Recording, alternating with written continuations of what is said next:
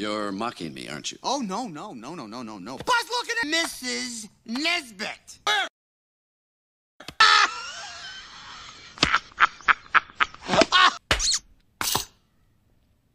I, I, I'm, I'm sorry. I, you're right. I am just a little depressed. That's all. I, Five? Hmm? Come on, we gotta go. But Fred, You see those two guys down there? They want to take your books away.